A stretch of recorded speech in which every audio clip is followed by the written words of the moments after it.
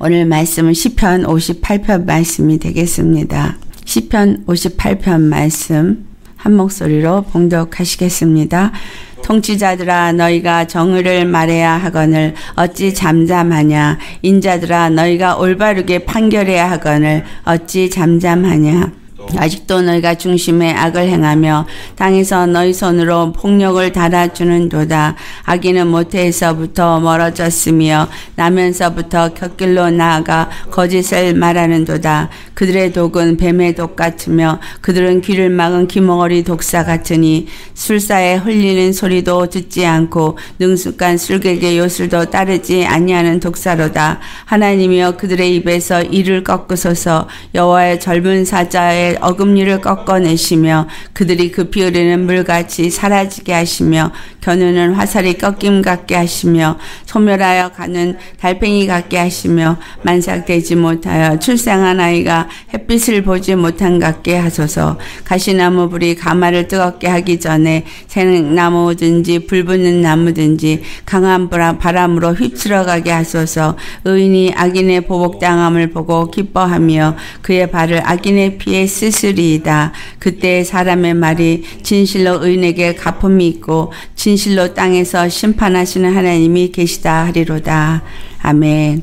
시편 58편의 말씀은 다윗이 기록한 말씀인데 똑같이 57편에 있는 제목과 같이 나를 진멸하지 마소서 이러한 제목으로 쓰여진 노래이며 시입니다. 오늘 이 시편 58편의 마지막 11절 말씀에 심판하시는 하나님이 계시다. 오늘 이 말씀의 전 아, 내용은 바로 무엇을 말하고자 하냐 하면 심판하시는 하나님이 계시다라는 거예요.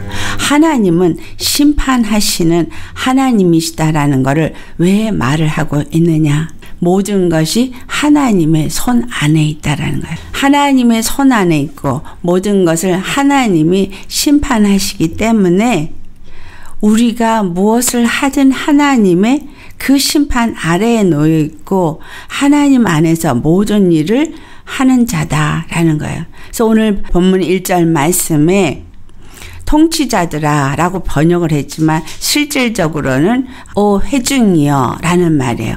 이스라엘의 모든 회중들에게 하는 말이에요. 여기서 통치자들아 그러면 마치 통치자에게 말하는 것 같지만 온 회중 이스라엘의 회중 가운데 말하고 있는 거예요. 그 중에 회중을 통치하고 회중을 판단하는 사람도 있겠지만 그렇지 않은 또 회중들 가운데에서도 또한 다른 사람들을 판단하는 그러한 일들이 있기 때문입니다.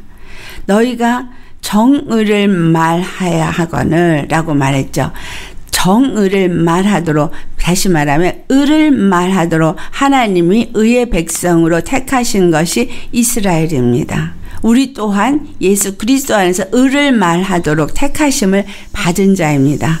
하나님은 우리를 빛으로 부르신 분이에요. 이 세상에 그 어디에도 빛이 없습니다. 모두가 어둠입니다. 왜냐하면 죄 가운데 있고 죄 가운데 있는 자들은 악한 자들이기 때문에 모두가 어둠에 있습니다. 그래서 내가 주님 안에서 빛으로 부름을 받았으면 내가 예수 그리스도 안에서 하나님의 의의 사람으로 부름을 받았으면 내게서 나타나야 되는 건 의만 나타나야 돼요. 빛만이 나타나야 되는 겁니다. 그런데 하나님의 의가 나타나기보다는 여전히 내 의가 나타난다는 거예요. 하나님의 의를 나타내야 되고 빛을 나타내서 항상 어두움은 없어지게 해야 되는데 오히려 어두움을 만들어내는 일을 믿는 사람들이 하고 있다라는 거죠. 그러니까 다윗을 통해서 우리에게 주시는 말씀은 너희가 의를 말해야 하는데 왜 의를 말하지 않고 불의를 말하냐? 왜 여전히 너희가 예수 그리스도의 의 안에서 의를 말하고 생명을 말하는 빛 가운데 거하는 자여야 하는데 왜 세상의 말을 여전히 하고 있고 여전히 너의 의와 너의 생각을 말하는 푸르를 말하는 자가 되느냐 그 말이에요. 그러면서 사람들의 아들들아 너희가 올바르게 정직하게 판결해야 하거늘 어찌하여서 그것을 정직하게 판결하지 아니하고 오히려 잠잠하냐 말씀을 가르치고 전하는 자들, 그러한 자들이 하나님이 분명히 바른 길을 제시하고 그렇게 행해야 된다고 말을 했는데 그것을 가르치지 않는다는 거예요. 그것을 말하지 않는다는 거예요. 그래서 그들이 잠잠하다는 거예요. 너희가 왜 의를 말해야 되는데 잠잠하냐라는 말은 하나님이 주신 말씀이 있으면 하나님 앞에 어떻게 행해야 될 것을 온전히 말해야 되는데 오히려 그것을 잠잠하고 말하지 않는 것을 책망하고 있는 거예요. 분명하게 말씀 속에서 불의가 무엇이고 의가 무엇인지를 말해 주어야 합니다. 그러면 그 말씀을 들은 사람은 아멘으로 말로만 하고 행동엔 전혀 나타나지 않는 게 아니라 정말 아멘으로 했으면 나를 십자가에 못 박는 자가 되어야 하는 겁니다. 신명기 16장 19절의 말씀에요. 하나님이 너는 굳게 판단하지 말고 사람을 외모로 보지 말고 뇌물을 받지 말라고 말을 하십니다. 왜냐하면 이 뇌물은 사람의 눈을 어둡게 하고 의인의 말을 굳게 만들기 때문에 사람한테 무엇인가를 받은 사람한테 강하게 뭐라고 말을 할 수가 없죠. 잘못된 걸 지적하기 참 어렵습니다. 모든 사람에게 공평하게 판단하고 말하기 위해서 외모를 보지 말라고 하는 거예요. 하나님이 항상 성경 속에서 말이 육체의 말을 하는 것 같을지라도 그것은 항상 우리의 영적인 부분을 지적해서 말씀하고 있습니다. 다시 말하면 너희의 삶에서 나오고 있는 판단 이게 어디서 말미암 눈에서부터 말미암습니다. 눈에서부터 보고 내가 알고 있다는 지식에서부터 판단해서 말을 하는데 그것이 그렇다면 어디서부터 나오는 것이냐? 내가 보고 있는 눈은 바른 의의 눈으로 보고 있는 것이냐. 네가 생각하고 있는 그 생각은 하나님이 준 의의 생각 속에서 나오는 것이냐. 너희가 판단하고 있는 그 판단은 하나님이 준 그 십자가를 통해서 보는 그러한 공의에서 판단하는 것이냐. 우리가 판단을 해야 할때잘 해야 하는 이유입니다. 우리 역대하를 보시겠습니다. 역대하 19장을 찾아서 6절 보시겠습니다. 역대하 19장 6절 말씀 같이 봉독하시겠습니다. 재판관들에게 이르되 너희가 재판하는 것이 사람을 위하여 할 것인지 여호와를 위하여 할 것인지를 잘 살피라. 너희가 재판할 때에 여호와께서 너희와 함께 하심이니라. 아멘. 우리가 무엇을 판단하고 말할 땐 하나님이 함께 하신다는 거예요. 하나님이 우리가 무엇을 분별하고 판단할 때 그 판단이 사람을 위한 것인가 하나님을 위한 것인가를 보신다는 거예요. 사람을 판단할 때 이것이 나에게서부터 온 것인가 하나님께서부터 온 것인가를 생각해야 합니다. 만약에 나에게서 온 것이라면 함부로 입을 벌리지 말아야 돼요. 정말 이것이 하나님께로서 온 것인가 아니면 내 생각에서 온 것인가를 잘 분별해야 한다는 겁니다. 여호와를 두려워하는 마음으로 삼가 행하라고 7절에 말하고 있어요. 하나님을 두려워하는 마음으로 모든 것을 할 때 말을 하든 판단을 하든 행동을 하든 삼가하게 되어지고 행하게 되어진다는 거예요. 온전히. 왜냐하면 하나님은 불의함이 없으시고 치우침도 없으시고 뇌물을 받는 일도 없는 분이시기 때문입니다. 우리는 절대로 치우쳐도 안 돼요. 또 불의해도 안 돼요. 하나님이 우리의 모든 판단 가운데 함께 하시고 그것을 보고 계신 이유는 참 하나님 그분만이 참 심판자이기 때문인 거예요. 나도 하나님 앞에서 심판받아요. 그래서 만 달란트 빚진 자를 탕감해 준 비유를 하신 이유예요. 도무지 우리가 우리의 죄를 해결할 수가 없어요. 우리가 죄에서부터 벗어날 길이 없습니다. 오늘 여기서 다윗이 말한 것도 그가 얼마만큼 죄인이냐 하면 사람들은 3절 말씀에 모태에서부터 그들은 악인이 되어져서 떨어져 있고 어디서부터 떨어졌다는 거예요. 의에서 떨어지고 생명에서 떨어진 자라는 거예요. 나면서부터 곁길로 나가 거짓을 말하는 자라는 겁니다. 그래서 그가 시편 51편 5절에 말을 한 것처럼 그가 죄악 중에 출생하였고 모태에서부터 그는 죄 가운데 잉태한 완전한 죄인입니다. 사도 바울이 말한 것처럼 이 세상에 의인은 하나도 없고 모두가 다 죄인이기 때문에 하나님의 영광에 이룰 수 없다고 말한 것처럼 우리는 나서부터 악인인 거예요. 모태에서부터 악인이에요. 그래서 의에서 떨어지고 생명에서 떨어져서 처음부터 불의한 자기 때문에 모든 생각하는 게 악하고 모든 생각 속에서 나오는 것이 다 악하기 때문에 격길로 나아간다는 거예요. 격길로 나아간다는 것은 뭘 말하고 있어요? 빗나간다 이 말이에요. 빗나간다는 것이 하말티야. 죄라는 단어가 하발티아인데 이것이 빗나간 화살입니다. 정확한 관역을 향해서 나아가는 게 아니라 격길로 빗나간다는 거예요. 내 생각은 옳다라고 생각해서 말했어도 그것이 하나님이 가고 있는 그 정확한 관역을 향해서 가는 게 아니라 빗나간다는 거예요. 격길로 나아가는 거짓을 말한다는 거예요. 내 의해서 올라온 것은 다 거짓을 말해요. 그 이유가 뭐예요? 요한복음 8장 44절의 말씀이에요. 너희 아비 마귀에게서 났으니 너희 아비의 욕심대로 너희도 행하고자 한다. 내 욕심대로 행하고자 하고 그리고 그는 처음부터 살인한 자요. 진리가 그 속에 없으므로 진리에 서지 못하고 거짓을 말할 때마다 제 것으로 말한다는 거죠. 내가 말을 하는데 이미 빗나간 화살이기 때문에 참 말을 하는 것처럼 생각을 해요. 그리고 진리를 말하는 것처럼 말을 해요. 하지만 그 모든 것이 거짓을 말하는 거예요. 그래서 그는 처음부터 거짓말장이요. 거짓의 압이에요. 그래서 우리는 처음부터 거짓을 말하는 자예요. 무슨 말을 하시고 싶은 거예요? 그러니까 네 임의로, 네 생각으로, 네 의로 판단하지 말아라 말이에요. 너의 판단을 다 보시고 계시다. 너의 모든 말하는 거, 행동하는 거 다 살피시는 하나님 앞에서 두렵고 떨림으로 무엇을 판단할 때 해라. 그 말을 하고 있는 겁니다. 2절의 말씀이 참으로 너희가 마음 중심의 악을 행하며 땅에서 너희 손으로 폭력을 달아준다. 폭력을 저울에 달아서 내 기준에 내가 이 사람한테는 이렇게 해도 합당해 하면서 하는데 이렇게 말해도 합당해 하면서 하고 이렇게 말하는 게 옳아라고 말하고 이렇게 행동하는 게 옳아라고 하면서 하지만 이게 저울에 달아서 하는 내 기준이라는 거. 하나님의 의의 기준이 아닌 그와 같은 악을 행하고 있다라는 것. 참으로 악인이기 때문에 이와 같이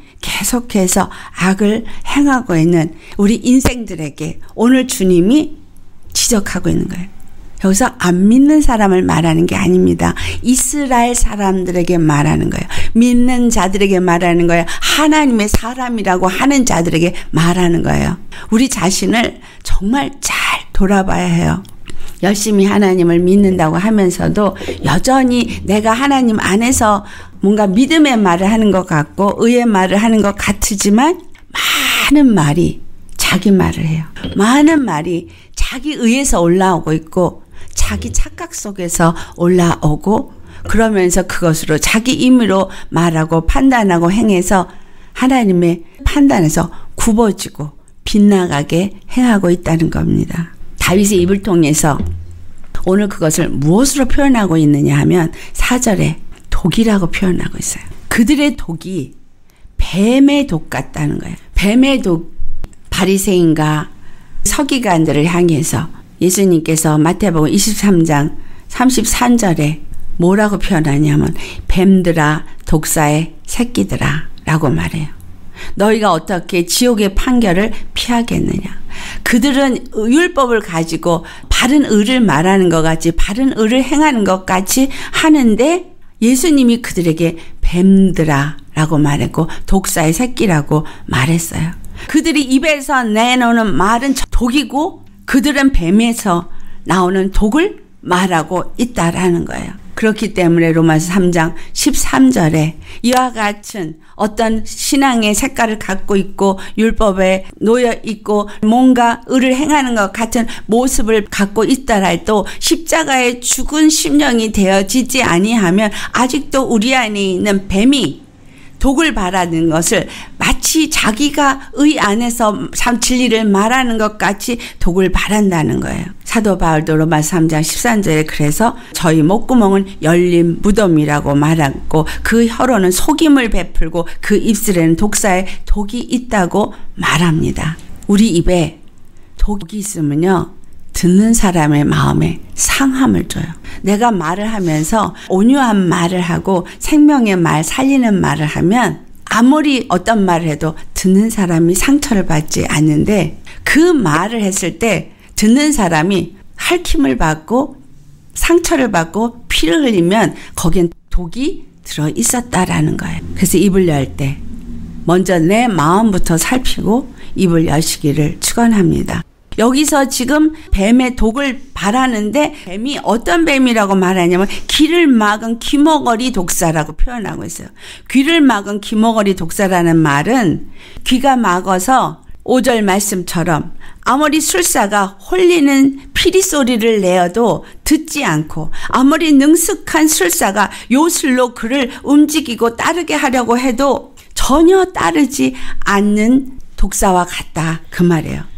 귀가 막혔단 말이에요. 말씀을 들어도 이 말씀이 어디로 들어가? 지식으로 들어가고 심령으로 들어가지를 않고 한쪽 귀로 들어가서 한쪽 귀로 빠져나가는 이유는 내가 뭔가 안다고 생각하고 내가 뭔가 됐다고 생각하고 내가 뭔가 옳다고 생각하고 있기 때문에 이것이 아무 영향을 미치지 않는다는 거예요. 하나님 말씀을 들어도 말씀을 들을 때 이게 하나님의 말씀을 듣고 이것이 내게 찔림이 되고 회개가 되어지고 그리고 내가 주님 앞에 통해 자복하는 자가 되어져야 하는데 아무것도 그 귀에 들리지를 않아서 여전히 내 안에 있는 독을 갖고 여전히 행동을 하면 믿는다고 하는 사람이 오히려 믿음이 연약한 자를 넘어뜨리고 쓰러트리는 일을 하는 거예요. 주님은 귀 있는 자는 성령이 교회들에게 하는 말씀을 들을지어다 라고 말하는 거예요. 귀 있는 자는 들을지어다. 내 귀가 열려 있느냐라는 거예요. 주의 말씀을 들을 때 이 말씀을 아, 저 사람에게 하는 말이야 라고 들린다면 그 역시도 기가 막힌 거예요. 말씀은 항상 나에게 주는 말씀으로 받으셔야 합니다. 이 말씀을 전하는 저도 제가 이와 같이 말을 잘못해서 듣는 사람에게 마음에 상처를 주지는 않았는가 돌아봅니다. 우리는 의인이 없거든요. 매일매일 주님 앞에 의로워지기 위해서 십자가 앞에 내려가는 자일 뿐이거든요. 순간 나도 모르게 다른 사람의 마음을 핥히고 아프게 할 수도 있어요. 또 반대로 별 의미가 없이 좋은 의도로 말을 했고 당연히 해야 될 걸 말했어도 받는 사람이 그 안에 독이 있으면 받는 사람이 왜곡되게 듣습니다. 잘못되게 왜곡되게 들어서 그것으로 상처를 받기도 합니다. 이와 같이 우리 안에 해결돼야 될 것은 독이 나올 뱀을 제거시켜야 하는 거예요. 죄인인 나를 철저하게 주님의 십자가에 못 박아야 하는 겁니다. 그렇지 않으면 무슨 말을 해도 내 귀에 틀리지를 않아요. 술사가 독사를 움직여요. 피리를 불면 독사가 그 피리에 맞춰서 춤을 추는 일을 하죠. 독사도 마귀에게 이끌림받아 쓰임을 받는데 하나님의 사람이 어떻게 독사가 되어져서 하나님이 말씀하시는 것이 귀에 들리지도 않아서 지 멋대로 지 마음대로 하느냐 그 말이에요.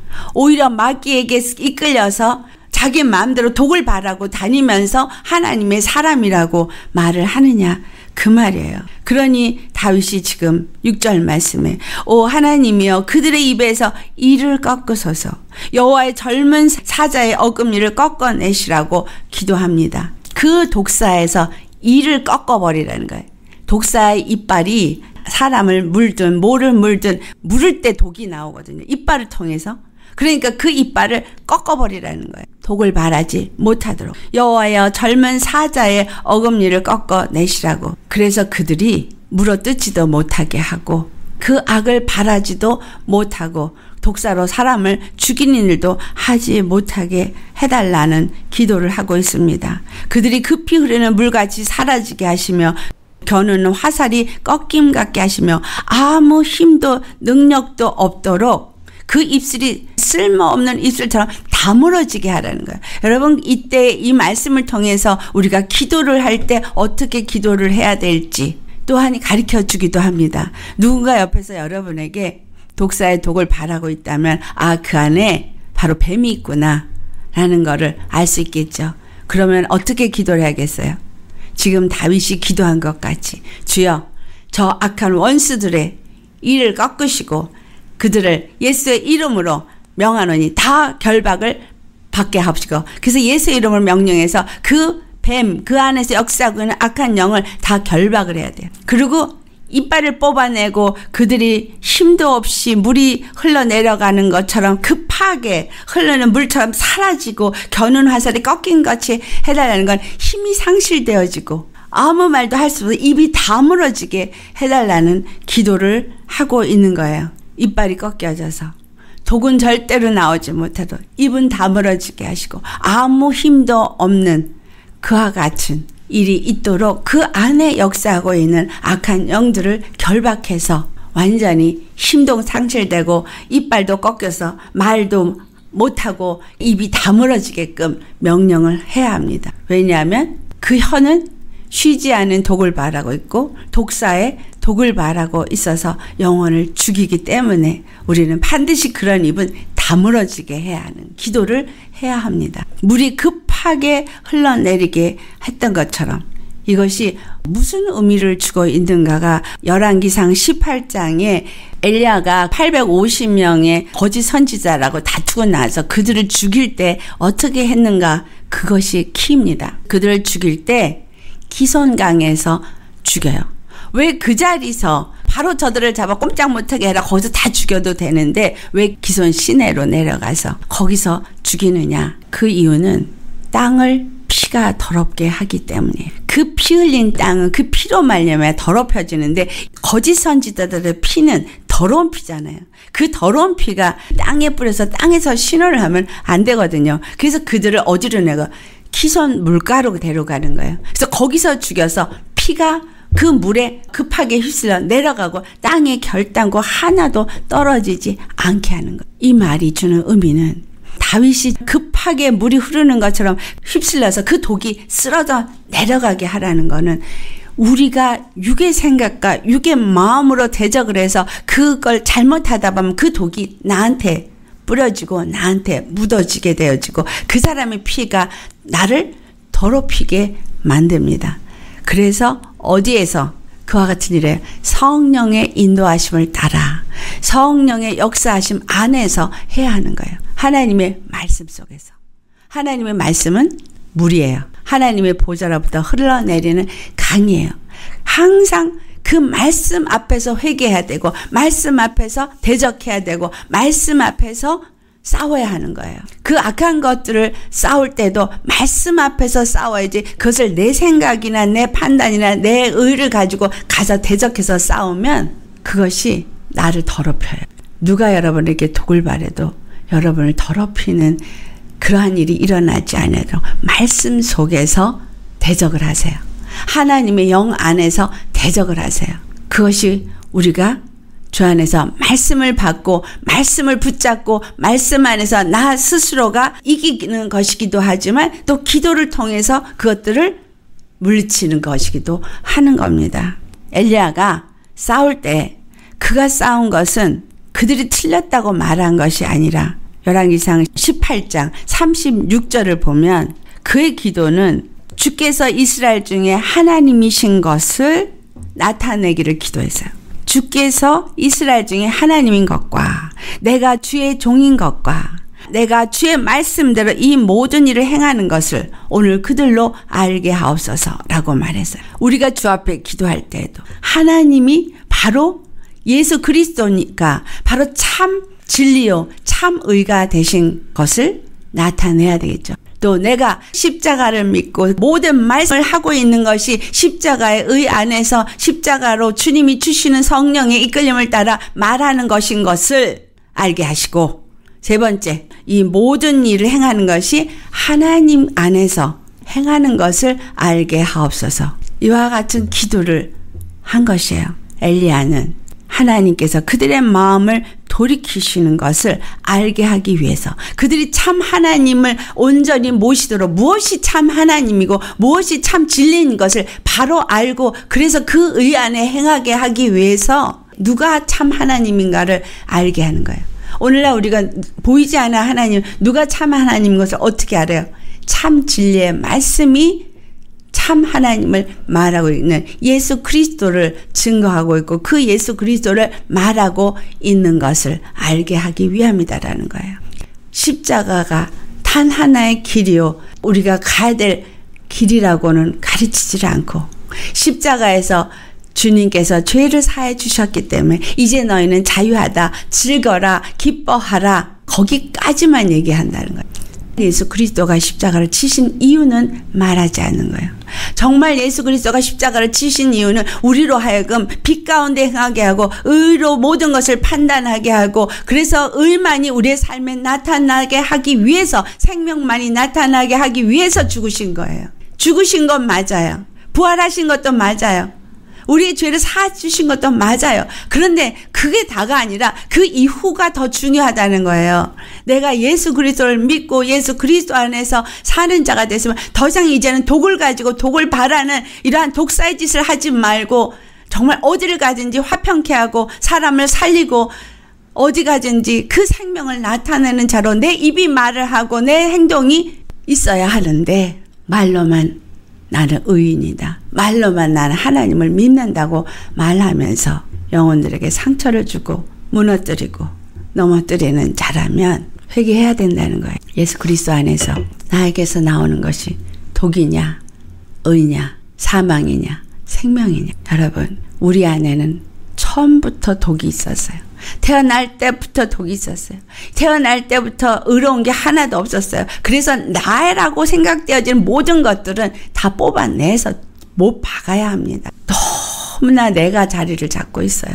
우리 안에. 너무나 내가 많아요. 나라고 말하고 있는 그것이 내 임의로 판단을 하고 있는데 그 판단이 옳은가를 하나님 앞에 두려워하면서 생각하고 말하느냐라는 거예요. 그렇게 생각도 안 하고 판단해버리고 말해버리고 행동해버리고 그게 우리 인생들의 모습입니다. 그래서 오늘 시편 58편은 우리에게 말하고 있는 거. 하나님은 항상 살아서 모든 것을 심판하시는 하나님이시고 우리의 모든 것을 살피시고 감찰하시고 보시는 하나님이시라는 거예요. 우리가 어떤 것을 판단하고 말을 할 때도 그 입의 말이 하나님의 의의 말을 하고 있는지 아니면 독사의 독을 말하고 있는지도 다 보고 계시다라는 거예요. 그리고 알고 계시다는 거예요. 그리고 그것이 만약에 독사의 독을 바란 거라면 거기에 하나님은 결코 간과하지 않으신다. 그것에 대한 책임을 물으시고 그 독을 바라고 있는 자들에게 진노하시고 심판하시는 하나님이 되심을 알아야 하기 때문에 우리는 주님 앞에 열심히 회개하고 나 자신을 돌이켜 보아야 합니다. 하나님의 일을 행하는 것 같이 보이지만 하나님의 일이 아니라면 그것은 곧 성령 해방죄에 해당이 됩니다. 하나님의 말을 하는 것 같은데 그것이 하나님의 말이 아니면 거짓말이 되고 독이 되는 겁니다. 그들은 어떻게 되는 거예요? 다시 오늘 8절과 9절 말씀에 한 것처럼 달팽이 같이 소멸되게 하고 만삭되지 못해 출생한 아이같이 햇빛을 보지 못하는 그는 생명의 결실을 온전히 맺지 못하는 유산된 아이 죽어버리는 자가 되어지는 거예요. 분명히 생명을 처음엔 받았는데 자라나다가 만삭되지 못하고 그냥 사산돼 버리는 것을 말합니다. 여러분, 우리가 이렇게 사산돼 버리는 자가 될까 심히 두렵습니다. 가시나무 불이 가마를 뜨겁게 하기 전에 다시 말하면 우리 안에 있는 이 저주가 더 심판을 가중시키기 전에 그것이 멈춰지게 해달라는 것. 우리는 이 말씀을 들을 때 어떻게 해야 돼요? 내 안에서 올라오고 있는 독과 내 안에서 올라오고 있는 이 불의한 것들이 무엇인지를 알고 여기서 멈출 수 있어야 되는 거예요. 불이 꺼져야 되는 거예요. 이 독이 계속해서 발하고 계속해서 불을 붙이면 심판밖에는 우리에게 임하는 것이 없기 때문입니다. 그래서 의인이 악인에게 보복당하는 일은 없어야 되겠다는 거예요. 의인이 악인에게 보복당하는 것을 기뻐하고 즐거워하게 하면 안 되는 거예요. 우리가 예수님의 피로 발을 씻는 자가 되어야 합니다. 왜 발만 씻으라고 여기 말했겠어요? 예수 그리스도께서 발 발만 씻기셨어요. 예수님을 믿는 자들은 이미 깨끗해졌다고 했어요. 하지만 세상을 살면서 세상을 다니면서 우리가 얼마나 더럽혀지는지 모릅니다. 그렇기 때문에 악인들이 가고 있는 이 피를 흘리는 것에서부터는 발을 씻어야 되는 거예요. 이 악인들은 끊임없이 피를 발하고 있거든요. 죽이는 일을 끊임없이 하고 있고 거짓말하는 일을 끊임없이 하고 있고 의인들을 무너뜨리는 일을 끊임없이 하고 있어요. 거기서 나는 발을 씻어야 돼요. 발을 씻는다는 이거 거기다 발을 담궈 씻는다는 말이 아니에요. 예수님의 말씀에 씻기고 거기서는 상관하지 않는 자가 되어야 하는 거예요. 의인은 반드시 예수님의 십자가의 말씀에 씻기움을 받고 다시 말해서 회개를 하고 내 심령을 돌이켜 회개를 해서 주님의 말씀 앞에 나아가는 자가 되어야 하는 거죠. 오직 빛만이 나를 주장하도록 예수님과의 온전한 의 안에서 사귐만이 있어지도록 내 생각과 마음을 잘 살펴보시기를 축원합니다. 주님이 반드시 사람의 말이 진실로 의인에게 가품이 있고 땅에서 심판하는 하나님 앞에서 반드시 그가 무슨 말을 했는지 어떤 행동을 했는지 심판을 받는다는 걸 우리는 기억해야 합니다. 분명히 주님은 말씀하셨어요. 계시록 22장 12절에 내가 속히 오리니 내게 줄 상이 있어 각 사람에게 그가 행한 대로 갚아 주리라. 내가 정말 상을 받을 수 있도록 많은 생명을 나눈 일을 해야지 이렇게 하나님의 심판하신 하나님 앞에서 하나님의 진노를 받는 그러한 자가 되어지면 안 되겠죠. 주님은 남은 자만 예루살렘으로 돌아오게 하는 것을 보여주고 있습니다. 많은 자 중에 변질되어지는 자들이 있다라는 거예요. 교회가 변질되어져서 만삭이 되지 못하고 그냥 사산되어지는 그와 같은 교회들이 무수히 많다라는 거예요. 그리고 오직 끝까지 십자가의 길을 가고 오직 예수 그리스도만을 섬기는 오직 예수님과 사귐이 있어서 의의 길을 행한 그 3분의 1 남은 자들이 주님께로 돌아오게 됩니다. 그 남은 자를 엘리야 시대 때 7천인으로 표현하고 있어요. 우상에게 절하지 않은 자. 어, 나 우상에게 절하지 않는데 내 안에 여전히 버리지 못한 내가 있다면 나는 우상에게 절한 자가 되어집니다. 하나님은 지금 베드로후서 3장 7절에 말씀한 것처럼 하늘과 땅은 주님이 그 동일한 말씀 창조하실 때 말씀으로 있으라 한 대로 다 불살라 진다는 걸 말하고 있어요. 그런데 그 불사르기까지 지금 간수하고 있는 거예요. 보존만 하고 있는 겁니다. 왜냐하면 경거지 않은 사람들을 불로 심판한 날까지 보존하는데 이것이 길어지는 이유는 경건치 않은 자들이 회개하고 돌이켜 죄사함을 얻고 하나님의 구원에 이르기를 바라기 때문이에요. 우리는 하나님의 마음을 알아야 돼요. 하나님은 심판하는 하나님이시지만 우리가 완전한 그 불못의 멸망에 처하게 되는 걸 결코 원하지 아니하십니다. 모든 사람을 다 구원하기를 원하시고 한 사람도 멸망에 처하는 걸 원치 않으세요. 그런데 우리 욕심이 죄를 낳고 죄가 장성해서 사망을 낳게 되는 거예요. 우리 생각에 마음에 있는 나라는 거를 십자가에 못 박지 않는다면 이 삶에서 매일매일 그걸 살펴보면서 못 박는 일을 하지 않는다면 경건치 아니하는 자들과 함께 내가 불못으로 떨어지는 것은 기정사실이 되어집니다. 그래서 우리가 죄에게 종이 되어지지 않고 의의 종이 되어지고 있는지를 매일매일 살펴보아야 합니다. 여러분 진실로 이 말씀 앞에서 다시 한번 말씀드립니다. 믿음이 있다고 하는 경건의 모양을 가진 자들이 행하는 그 길을 많은 숫자가 그리 간다고 해서 따르지 마시기를. 그리고 오직 예수 그리스도의 십자가를 통해서 내가 예수님의 의로 행하고 믿음 안에서 행하고 그 생명으로 행하는 하나님과 온전한 사귐이 있는 화평케 하는 자의 삶을 살아야지만 된다는 거예요. 우리에게 화평케 하는 직책을 주셨고 화평케 하는 말을 부탁했다라고 사도 바울이 말하잖아요. 내가 가는 곳마다 내 입에 독이 바래지고 판단하고 불의를 마치 진리를 행하는 것처럼 행하고 거짓말을 마치 진리를 말하는 것처럼 말하고 이런 것에서부터 이제는 돌이켜서 참으로 주님 안에 화평케 하는 자가 되시기를 축원합니다. 오직 우리는 죄에서 해방되었을 뿐만이 아니라 하나님의 의의 종이 되었기 때문입니다. 하나님의 의의 종이 되었기 때문에 거룩하게 이르는 열매를 맺어야 하는 거예요. 하나님의 거룩함에 이르게 하는 열매. 매일매일 같이 나에게서 거룩함만이 드러나는 그런 거룩한 하나님의 형상만이 나타나는 그러한 열매를 맺어야 되는 거예요. 그런 사람들에게 마지막이 영생이라고 로마서 6장 22절에 말합니다. 우리는 영생을 얻기를 원하시죠? 영멸에 처하기를 아무도 원하지 않을 거예요. 그렇다면 영생에 이르기 위해서 우리는 거룩한 열매를 매일 맺는 하나님의 의의 종의 삶을 사셔야 하는 거예요. 하나님의 의의 종은 무슨 일을 한다고요? 화평케 하는 직책을 가졌어요. 화평하게 하는 말을 해야 되는 거예요. 진리를 말해야 되고 마치 거짓말을 진리처럼 말하는 것이 아니라 참 진리를 알고 참 진리 가운데 거하고 참 진리를 배워서 참 진리만 나누는 자가 되어야 할 것입니다.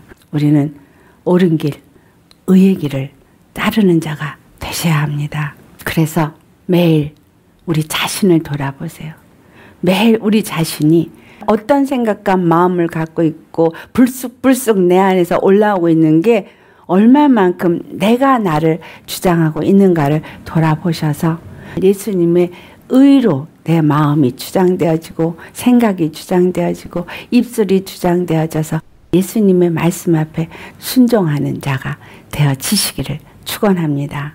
오직 그 말씀 앞에 늘 순종하며 그 말씀 앞에 나를 날마다 죽이고 의를 따라가는 저와 여러분 되시기를 예수님으로 축원합니다. 우리 다 같이 오늘 이 말씀 생각하시면서 주님 내가 의를 받은 자요 의롭게 함을 입은 자인 거 맞습니다. 그런데 의로운 삶 화평케 하는 삶 살리는 입술이 되어지지 못한 것 회개합니다. 다른 사람에게 상처 주는 말을 서슴없이 생각 없이 했던 모든 것들 용서해 주시고 아버지 진실로 이제는 내 마음 안에 이 독사의 독이 없어지도록 안전히 십자가 못 박아지게 하시고 입술에는 화평케 하는 말만 할 수 있고 의의 말, 진리의 말만 할 수 있는 내가 되어질 수 있도록 주여 나를 온전히 예수님으로 완전한 예수님의 사람으로 하나님 영을 부어주시고 이 말씀이 우리 생각과 마음을 주장하여 달라고 우리 다 같이 할렐루야로 기도하시겠습니다. 할렐루야 거룩하신 하나님 아버지 시편 58편을 통해서 다윗의 입술을 통해서 하나님은 심판의 하나님으로서 심판의 주가 되시고 그 하나님의 심판 앞에 우리의 모든 심판이 굽어진 것과 잘못된 것을 돌아보게 하심을 감사드립니다. 우리가 무엇을 판단할 때에도 그것이 하나님의 의로 판단하는 것인지 아니면 내 의로 판단하는 것인지 돌아보라 하셨습니다. 모든 판단 가운데 하나님이 함께 계시고 그 판단을 보신다 하셨습니다. 그런데 우리는 너무나 내 의로, 내 생각으로, 내가 보는 눈으로 그것이 옳다고 생각하고 판단합니다. 그런데 아버지요, 정말 내가 옳다고 판단하는 그 판단이 참으로 옳은 것인지, 참으로 그것이 하나님의 성령에 의해서 한 것인지, 하나님의 의 가운데 한 것인지, 주님 돌아보게 하여 주시옵소서. 그것이 사람을 상처 주고, 사람을 죽이게 하는, 피 흘리게 하는 독사의 독이 아닌가, 우리 자신이 돌아보고 예수님 앞에 철저하게 회개하기를 원합니다. 아직도 우리 안에 있는 이 독이 소멸되어지기를 간절히 구합니다. 이 세상의 사람들은 독사의 독을 바라는 악인들이고 그들에게는 결탄코 진리도 없고 거짓밖에 없고 생명이 없는 사망일 뿐입니다. 아버지 우리 안에 욕심을 따라 행한다면 그 또한 우리 안에 독이요 그 또한 우리를 사망으로 이끌 것밖에 없습니다. 그래서 우리 안에 있는 창과 검이 되어주는 내 의와 내 이론과 내 생각과 내 판단을 다 사로잡아 오직 우리 주 예수 그리스도의 십자가에 못 박아지게 하여 주옵소서. 완전히 죽은 자가 되게 하옵소서. 예수 그리스도 안에서 거룩하신 하나님의 의의 길로 생명의 길로 정말 나아갈 수 있도록 그 빛만을 바랄 수 있는 하나님의 영광의 빛이 우리 10년 가운데 충만케 되어지도록 온전히 주님의 진리의 말씀만이 십자가의 도의 말씀만이 정말 나의 생각과 나의 마음을 주장할 수 있도록 주님의 말씀을 내 생각에 기록하여 주옵시고 내 마음판에 기록하여 주셔서 오직 주님의 생각과 주님이 주시는 마음으로 아버지와 모든 것을 내 눈이 보고 분별하고 판단하여서 십자가를 통해서 보게 하시고 주님의 십자가의 사랑을 통해서 보게 하시고 우리의 입술은 항상 화평을 말하는 입술이 되게 하시고 진리를 말하는 입술이 되게 하시고 주님 화평케 하는 직책을 감당하는 자가 되어져서 내 가정 가운데에서도 주님 화평케 하는 자가 되게 하시고 선을 행하는 자가 되게 하시고 살리는 자가 되게 하시고 하나 되게 하는 자가 되게 하시고 또 교회 안에서도 성도 가운데서도 또 이웃 간에도 주님 화평케 하는 자 살리는 자 영혼을 구원함에 이르게 하는 자가 되어질 수 있도록 항상 내 입은 주님의 의를 말하는 입이 되게 하시고 내 입에서는 젖과 꿀이 흐르는 입술이 되어질 수 있도록 우리 안에 역사하고 있는 모든 독사는 다 주 예수의 이름으로 결박하고 내쳐주시고 그 독을 뿜어내는 자들의 이를 꺾으시고 입은 다물어지게 하시고 아버지여 그 입은 더 이상 말을 하지 못하게 하시고 물어 뜯지 못하도록 예수님께서 완전히 철저하게 짓밟아 주시고 제거시켜 주시옵소서.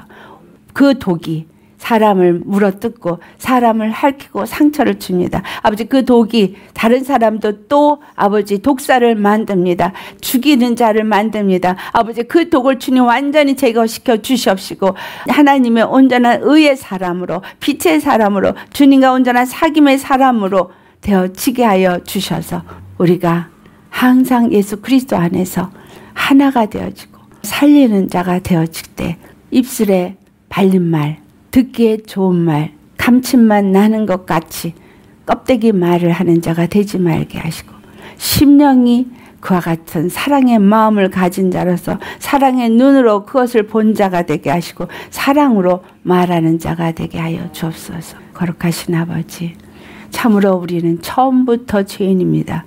우리에게 있는 것은 독사의 독분입니다. 멸망으로 치닫게 하는 악분입니다. 우리 안에 자정하고 다스리고 있고 올라오고 있는 것은 우리의 욕심이고 자아입니다. 아버지여 이 시간 시편 58편을 통해서 하나님만이 우리 심판자가 되심을 다시 한번 또 생각하면서 그 심판의 하나님 앞에 다윗이 모든 것을 올려드린 것처럼 우리의 모든 것이 사람들을 판단하고 입으로 말하고 행동하는 것들이 구분 판단이 되어지고 그것이 불의 가운데서 판단하는 것이 되어진 모든 것들을 회개할 수 있게 하여 주시옵소서. 주님이 주신 의로 회개하고 주님이 주신 의 가운데서 말하고 행동할 수 있는 우리가 되어지도록 우리 안에 역사하고 있는 모든 악과 토가 뱀의 모든 것들은 다 완전히 도말하여 주시옵소서. 그 진리의 말씀으로 결박하여 주시옵시고 그 일을 주의 말씀으로 완전히 꺾어 주시고 우리 안에 있는 창과 칼을 완전히 소멸시켜 주시옵시고 예수 그리스도 안에서 그 힘은 상실케 없시고 오직 거룩하신 하나님의 의만이 생명의 빛만이 주님의 거룩한 영만이 우리 안에 주장하여 주셔서 우리 안에 있는 우리 자신이 가진 듯 그동안 갈아왔던 칼과 창은 없어지게 하시고 오직 주님의 말씀만이 좌우의 날선 어떤 검보다도 예리한 검이 되어져서 이 모든 것을 쪼개게 하시고 깨뜨리게 하시고 부수게 하시고 더 이상 독사의 독을 바라는 입술이 되지 말게 하여 주옵소서. 이 세상에 참으로 독을 바라는 악한 자들과 아버지 구별된 오직 빛의 자녀로서 하나님의 아들로서 하나님의 거룩함을 나타내는 우리가 되게 하옵시고 가는 곳마다 빛을 바르고 가는 곳마다 영혼을 살릴 수 있는 자, 화목하게 하는 자가 되어질 수 있도록 주님의 영으로 충만하게 부어 주시옵시고 말씀이 생각에 들어가 지식이 되어지지 말고 우리 심령 속에 생명의 말씀으로 새겨져서 심령이 온유하고 겸손한 사랑의 사람으로 변화받아 오직 그리스도의 마음을 가진 자가 되어지고 입술은 젖과 꿀이 흐르는 살리는 입술이 되어지게 하시옵소서. 우리의 삶에 의의 열매, 생명의 열매가 풍성해져서 거룩한 하나님의 형상을 입고 하나님의 거룩함을 이루기에 부족함 없는 영생에 이르는 자가 되어지도록 주님 인도하여 주옵소서. 오늘도 우리에게 말씀을 통해서 우리 자신을 또 돌아보며 내가 의인이라고 스스로 자만하지 아니하도록 우리를 돌아보고 선줄로 생각하지 아니하도록 더욱더 겸손해질 수 있는 우리 되게 하여 주옵소서 감사하며 예수님의 이름 받들어 기도드리옵나이다. 아멘